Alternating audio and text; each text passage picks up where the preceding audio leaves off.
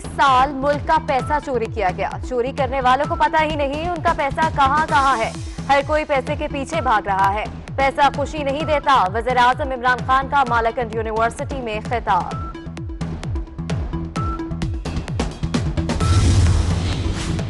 डिस्का में दोबारा पोलिंग का इलेक्शन कमीशन का फैसला मुअत्तल करने की पीटीआई की दरख्वास्त मुस्तरद।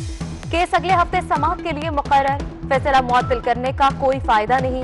बेहतर है अभी ऐसे ही चलने दे। जिसका इलेक्शन में कानून पर अम नहीं हुआ। इलेक्शन कमीशन ने पुलिस के अदम ताउन का गुस्सा निकाला। पुलिस का अदम ताउन दोबारा पोलिंग का जवाब नहीं हो सकता। जस्टिस उमर अदा बदयाल और जस्टिस मुनीब अख्तर के रिमार्क्स।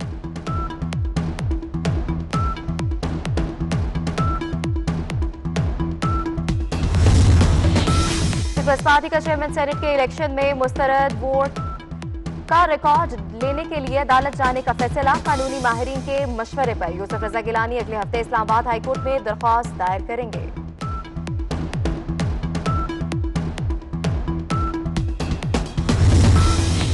यूटिलिटी स्टोर्स के लिए जहांगीर तरीन से मजीद बीस हज़ार टन चीनी खरीदारी।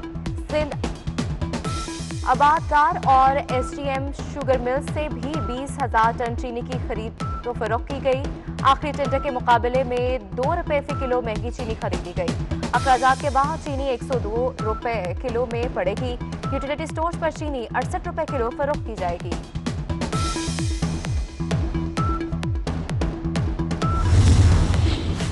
और कोरोना वैक्सीन की कीमत क्या होगी? ड्रग रेगुलेटरी अथॉरिटी पाकिस्तान, आज कीमतों का तयन करेगी। विफाकी काबीना की मंजूरी के बाद इतलाक होगा।